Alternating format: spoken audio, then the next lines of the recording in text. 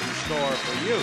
Come right up here beside me, and then look at that. A new car!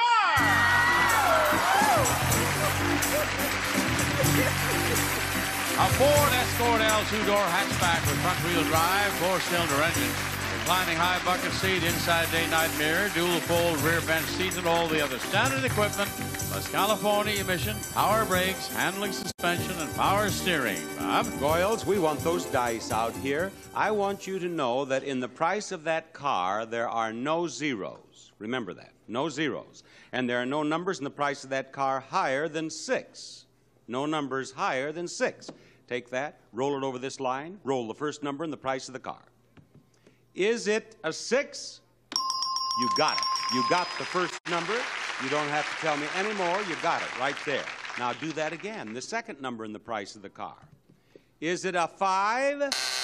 No. Is the second number higher or lower than five? Lower, she says as she reaches down, picks up another die, and rolls it over the line and gets another six. Is that it? You got the third number. You got it. You got it. Oh, you are hot. Roll that again, now fast, before you cool off. Is it a two? You got that too. Now, you don't have the car yet. No. I believe that's the first time that a contestant has ever rolled uh, three of the four numbers, is it not? Have they ever rolled? The, uh, they've never rolled three, have they? I know they've rolled two. Maybe they've rolled three.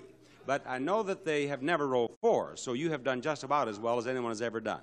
Now, if that is a six, you lose. But that's the only thing that can keep you from winning that car. If it's a four, a three, a two, or a one, you win.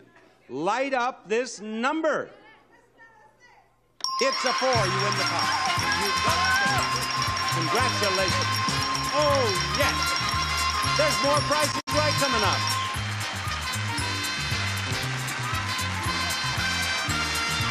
Stay tuned for more pricing games and the fabulous showcases coming up on the second half of The Price is Right.